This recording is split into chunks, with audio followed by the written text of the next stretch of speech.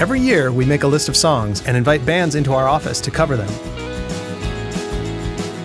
After a song is performed, it's crossed off the list, so the later a band comes in, the fewer they have to choose from. This is AV Undercover, Season 6. All